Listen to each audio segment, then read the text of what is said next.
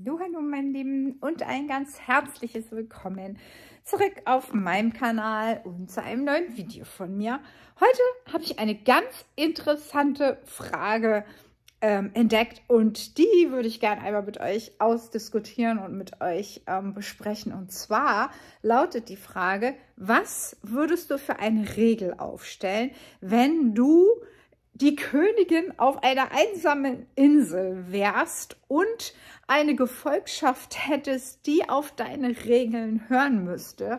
Und was wäre die erste Regel, die du aufstellst? Und ich wusste sofort ganz spontan darauf zu antworten und deswegen würde ich euch gerne erzählen, was für eine erste Regel das wohl sein wird oder wäre. Ich möchte gar keine Königin auf einer einsamen Insel sein, aber ähm, äh, das wäre doch mal eine interessante Frage, habe ich mir gedacht, mit euch in diesem Video zu besprechen und warum ich keine Königin sein. Und das ist auch nochmal eine tolle Frage für ein neues Video, finde ich.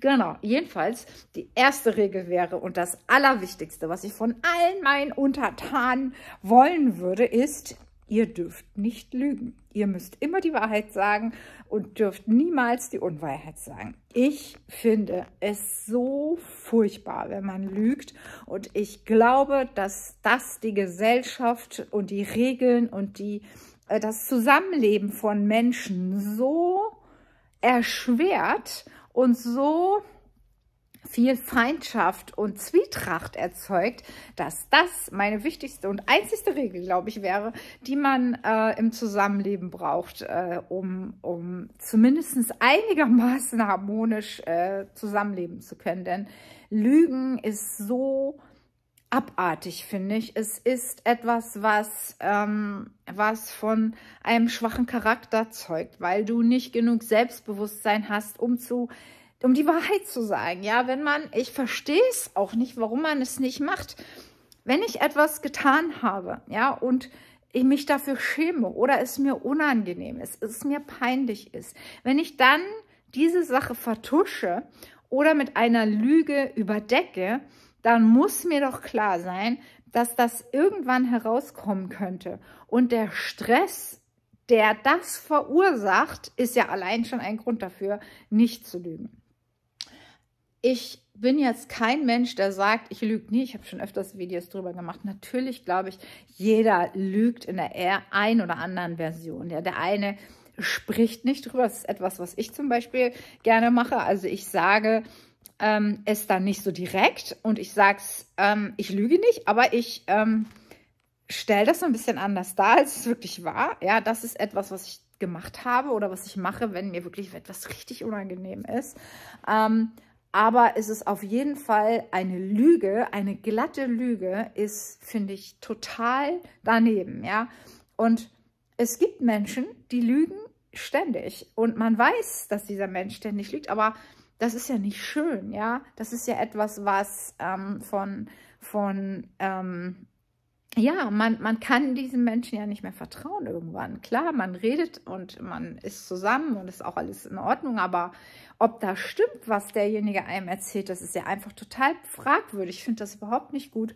Und gerade ähm, wenn viele Menschen zusammenleben und viele Menschen lügen, kannst du ja überhaupt gar keine Basis für eine Gemeinschaft entwickeln, denn es kann ja alles falsch sein, es kann auch alles richtig sein. Wie soll man denn Vertrauen aufbauen? Wie soll man denn sich auf jemanden verlassen können? Und wie soll man denn Dinge planen, wenn ich denn nicht weiß, ob derjenige oder diejenige das einhält, was versprochen wurde oder ähm, äh, das äh, mir richtig erzählt hat oder vielleicht das Ganze total anders war, als es äh, als derjenige es erzählt. Ja, nein, Lügen, das ähm, ich weiß gar nicht warum, aber ich kann es einfach nicht ab. Ja, und auch dieses was ich manchmal mache, dass ich es ähm, so ein bisschen anders darstelle, ohne direkt gelogen zu haben, finde ich überhaupt nicht gut.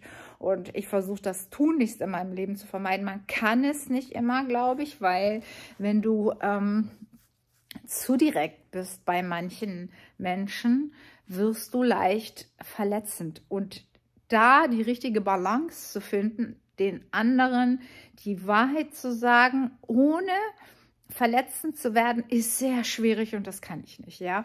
Da ich sehr direkt bin und die Wahrheit mir auf der Zunge klebt, ähm, kann ich auch die Wahrheit nicht gut verpacken, ähm, indem ich dann so ein bisschen äh, das Ganze schlau formuliere, sodass ich den anderen nicht verletze. Und das ähm, gelingt mir dann eigentlich nur, wenn ich äh, eben nicht so ganz die Wahrheit sage. Was könnte ich damit zum Beispiel, ich kann mal so ein Beispiel sagen, also ähm, derjenige sagt, oh, oh, meine Hüfte, ne? Ich finde die so hässlich. Ich würde das am liebsten wegoperieren lassen und es ist so, ähm, es ist so für mich so belastend. Dann würde ich dieser Person niemals ins Gesicht sagen, ja, also ich finde auch, die sieht richtig kacke aus. Ne? Also da musst du auf jeden Fall gucken, dass du das nicht so sehr präsentierst. Und da kann man ja dann schon mal anfangen, drüber zu diskutieren, ja. Denn wenn man etwas so direkt sagt, verletzt du denjenigen, ja. Und du bringst ihnen eine Art psychische Bedrängnis, die für diese Person auf jeden Fall schädlich ist. Man muss das Ganze also, wenn es auf freundschaftlicher Basis basiert, Basis basiert, Basis passiert, natürlich, ähm, entschuldige bitte, schon auch sagen auf die eine oder andere Weise, aber gut verpackt und gut ähm, in die Freundschaft eingebettet kommunizieren oder gar nicht sagen. Ja, also wenn man dann direkt um Rat gefragt wird, wird man, kann man einfach sagen, ja, es gibt halt Menschen, weiß ich nicht, die sind so oder so. Es gibt immer Möglichkeiten, die Wahrheit zu sagen und trotzdem den anderen Menschen nicht zu verletzen. Und das ist für mich das A und O. Ich mag es gar nicht, wenn Menschen durch ihre direkte Art andere Menschen so sehr verletzen, dass diese wirklich Probleme haben, ähm, diesen Tag zu überstehen, wenn sie immer daran denken. Ne? Und das sind so zwei Dinge, die ich immer noch nicht richtig äh, gelernt habe ähm, in meinem Zusammenleben mit den Mitmenschen ähm, zu kommunizieren. Ich bin sehr direkt und ähm, neige dazu, eher gekonnt äh, zu verschweigen etwas, als es direkt zu sagen. Ja, weil ich, ich möchte den anderen nicht verletzen, aber ich da ich sehr direkt bin und manchmal rutscht es mir auch raus, ja, dann bestätige ich das einfach, ähm, ohne tatsächlich so darüber nachgedacht zu haben, was ich da eigentlich gesagt habe. Und ähm, das darf man einfach nicht machen, ja. Man muss, man muss immer das Wohl seiner Mitmenschen im Auge und in Betracht ziehen und darf nicht, nur weil man die Wahrheit so sehr liebt und es auch direkt immer sagen möchte, das auch tun. Allerdings finde ich es auch unehrlich, wenn ich um meine Meinung gefragt werde und es nicht sage. Ja, also man muss auf die, also ich, man muss, man muss gar nichts, ja, aber ich habe dann den Anspruch auch immer, trotzdem zu sagen, hör mal, ja, das ist jetzt aber wirklich nicht so gut. Also vielleicht ne, bei Kleidern zum Beispiel, zieh lieber äh, was Rotes an statt das Dunkle, das macht dich blass. Ähm, und äh, dann bin ich auch direkt und sage das auch. Aber wenn es um Dinge geht, die wirklich den Menschen persönlich antatschen, wie der Körper, ja, sehr empfindlich bei der Frau. Äh, alles, was du gegen den Körper der Frau ähm, zum Nachteil sagst, ist auf jeden Fall verletzend. Muss man sehr vorsichtig mit sein. Weniger vorsichtig bin ich wenn es um Dinge geht, die die Person gemacht hat und die mir nicht gefallen, dann sage ich das auch sehr direkt, auch wenn es verletzend ist, weil ähm, es verletzt mich ja auch. Ja, wenn, wenn diese Person irgendetwas macht, was mir nicht gefällt, dann ist es etwas, was mich belastet. da muss man drüber sprechen. Ne? Ähm, ich schiebe das manchmal hinaus. Entschuldigt bitte, weil mir das ähm, seelisch zu anstrengend ist, mich mit diesen Themen dann ähm, in Konfrontation zu begeben. Also das nimmt mich immer sehr mit, wenn ich mit anderen Menschen streite oder ähm, auch nur laut diskutiere ähm, in einer Form, die eventuell auch schon zum Streit ausarten kann, dann versuche ich, ähm, das so lang wie möglich hinauszuschieben. Desto größer wird natürlich auch das Problem. Aber das mache ich schon, nur Lügen ist einfach etwas, was man in der Erziehung den Kindern beibringen muss. Das macht man nicht. Ja? Und das war früher auch noch viel intensiver in der Erziehung Thema.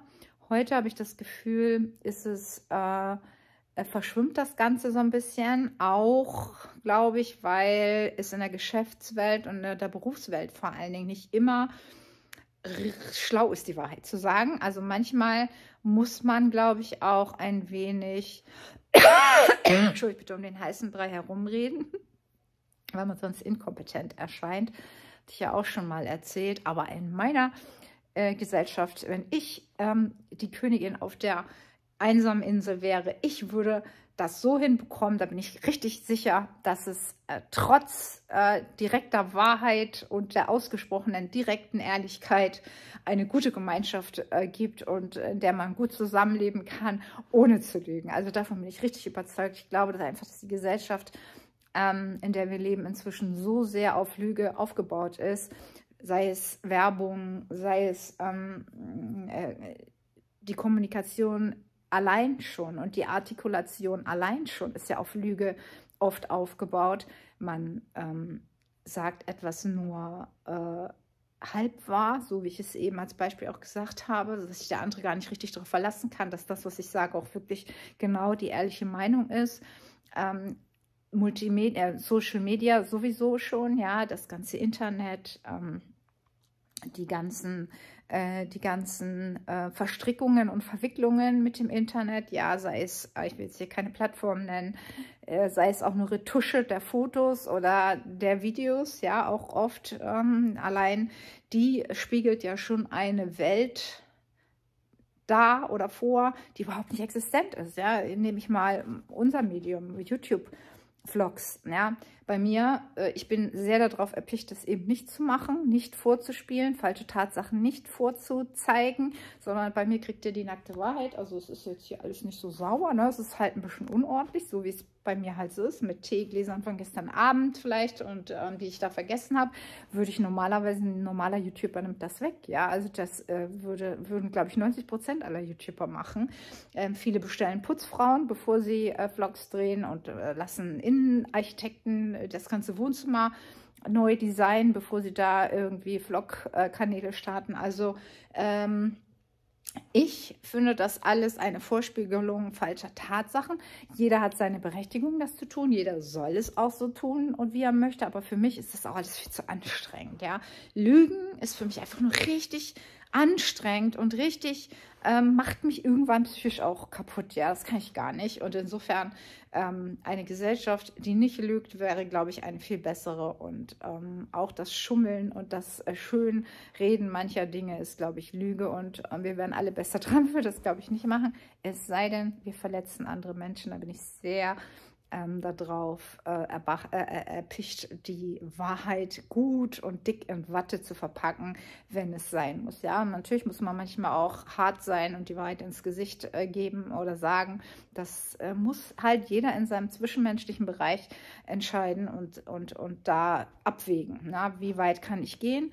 Ähm, ohne Menschen psychisch anzutatschen. Das finde ich sehr wichtig, weil gerade heute, ja, gerade in dieser schnelllebigen Zeit bleiben viele äh, auf der Strecke und fallen hinten durch, äh, durch das Raster und können, können einfach nicht mehr. Ja, die sind total kaputt von der, von der finanziellen Not auch, die viele plagt, ähm, begleitet, macht das Ganze nicht besser und da müssen wir einfach auf unsere Mitmenschen Acht geben und sie mitnehmen, ja, nicht durch das Loch fallen lassen und nicht mit der Wahrheit, die eventuell trotzdem richtig ist, äh, sie so trotzdem präsentieren, dass sie andere nicht so sehr verletzt. Mein Lieben, vielen Dank fürs Zuschauen. Bis bald. Tschüss.